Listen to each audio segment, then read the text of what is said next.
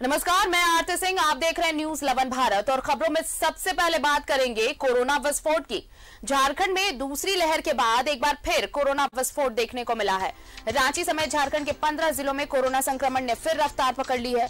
पिछले 24 घंटे में सूबे में रिकॉर्ड 344 नए कोरोना संक्रमितों की पहचान हुई है। रिपोर्ट के अनुसार, सिर्फ़ राजधानी रांची में 12 डॉक्टर समेत 118 नए संक्रमित मिले।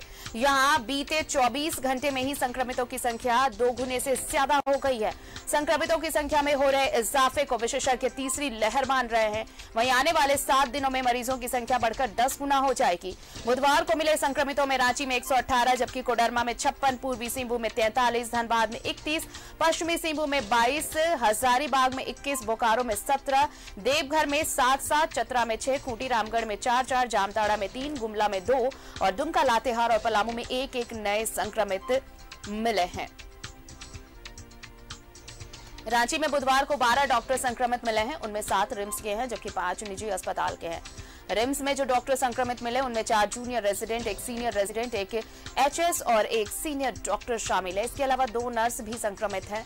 उधर रांची में पॉजिटिविटी रेट 10 दिनों में शून्य दशमलव शून्य आठ से बढ़कर तीन दशमलव छह तीन तक पहुँच गई।